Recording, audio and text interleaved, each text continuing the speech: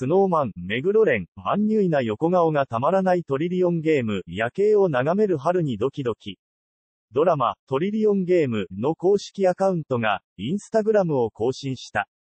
今回公開されたのは、静かに夜景を眺める目黒蓮のオフショットだ。窓辺に腰掛け、キラキラと輝く夜景を眺める目黒蓮。どことなくアンニュイな雰囲気漂うその姿からは、ドキッとするような色気も感じられる。何を思い夜景を見つめているのか、何とも絵になる一枚に、思わずため息が漏れてしまった人も多いのではないだろうか。